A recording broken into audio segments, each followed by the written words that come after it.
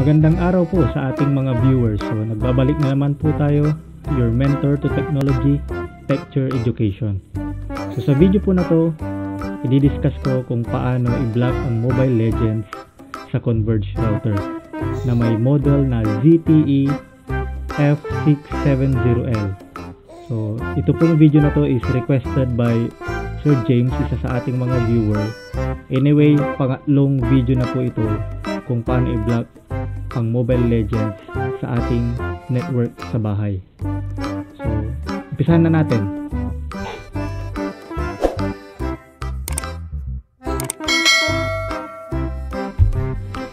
So, umpisahan po natin sa pagpunta sa ating router's web interface. So, ma-access lamang po natin ang ating router web interface sa pamamagitan ng pagta-type ng default gateway sa ating web browser.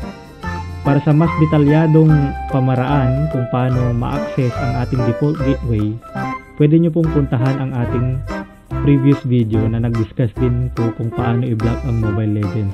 At doon po ninyo makikita ang step by step. So, sa video po na to ay hindi na po natin siya i-discuss. Okay?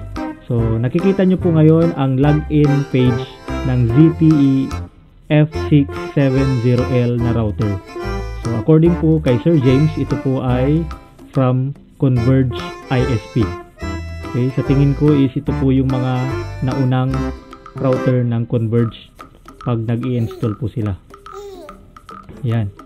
So, unang-una, syempre, kailangan po nating i-login ang ating login credentials sa ating router.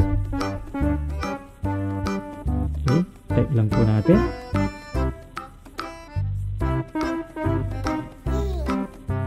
So, ayan po. Nakalagin na po tayo sa ating ZTE router. So, makikita nyo po ngayon ang device information under status. Okay? So, next is pupunta po tayo ng network. I-click po natin ang network.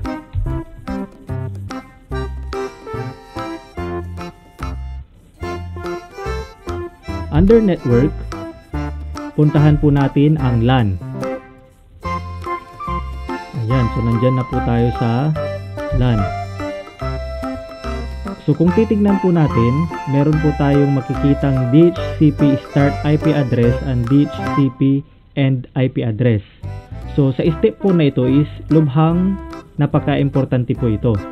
So dahil ito po yung scope ng ating router ng IP address na binibigay niya po sa mga connected devices sa ating router. So syempre, nag-iba-iba po yung IP address ng ating mga gadgets every time na kumukonek po tayo. So, ang gawin na lang po natin is kunin na lang po natin yung kabuuan na scope para i-input po ito doon sa ating pagblablock po later on. And then, don't worry po kasi sa ating pagblablock, even though nasama po yung IP address ng ibang gadgets na hindi naman po naglalaro ng ML, ay wala naman po itong epekto sa kanilang pag-connect sa internet. Okay? So, pagkatapos po nating tignan ang ating LAN, kung ano yung DHCP server niya, so punta naman po tayo sa security. Okay? So, under security, piliin po natin ang IP filter. Ayan. So, dito po tayo mag-umpisa. So, i-click po natin yung enable. Under protocol, piliin po natin ang TCP and UDP. Dito po sa name, pwede po tayong maglagay kahit ano pong gusto nating ilagay. So, in my case, ang ilagay ko po is ML block. Okay, after ng name, punta po tayo sa start source IP address. So, kung mapapansin nyo, ang nilagay natin sa start source IP address is yung DHCP start IP address po natin na nakita po natin kanina sa LAN category. Okay? Next po is punta po tayo ng end source IP address at ilagay din naman natin ang ating nakitang IP address doon sa DHCP and IP address po kanina. Okay po. So move po tayo sa next field. So yung mga hindi po fill upan dito ay wag na lamang pong um, lagyan o pakialaman para maging successful po ang ating pag-blablock. Next is we go to start destination port by typing 30000 or 30,000 30000 on the start destination port. On the end destination port, let's type 30999. Okay? So, after typing that, yung mode po natin is mananatili sa discard at i-click na po natin ang add. Ayan.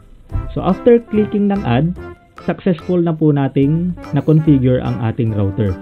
So, kung makikita nyo po dito sa baba, nandyan na po ang ating configuration. So, ngayon, pwede na po nating itry ang ating Mobile Legends kung magkukontinue pa po ito. So kung meron pa pong naglalaro during ng ating pagblablog ay hindi pa po ito tuluyang mablablog. Kundi kailangan pa po natin siyang i-exit at i-open ulit para mag-apply ang ating ginawang pagblablock sa Mobile Legends. Okay? And ulitin ko lang po, yung video po na to is intended lamang po para makatulong sa mga parents at sa mga concerned citizens na ma-regulate po ang paggamit ng Mobile Legends especially sa mga bata. Dahil yun nga po, wala naman pong masama sa paglalaro pero lahat naman po ng sobra ay masama. Bago po tayo mag-end, gusto ko lang pong pasalamatan ang lahat ng ating mga viewers at nakaabot na po tayo sa 441 subscribers. So road to 1,000 subscribers po tayo. Para po sa mas marami pang video, so don't forget to hit the subscribe button and the notification bell para sa mas marami pang video na tungkol sa technology. So maraming maraming salamat po at mabuhay po tayong lahat.